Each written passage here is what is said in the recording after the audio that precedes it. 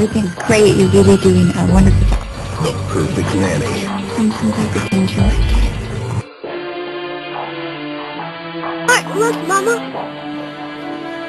Uh, I mean, Nanny Carrie. Loves your family.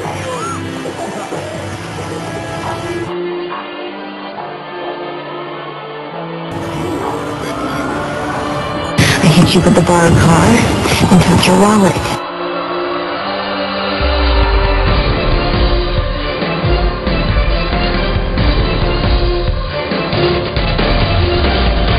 Wheeled John Doe out of recovery.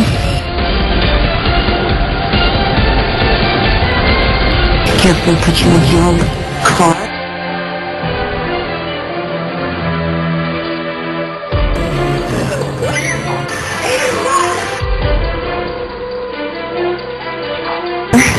And now,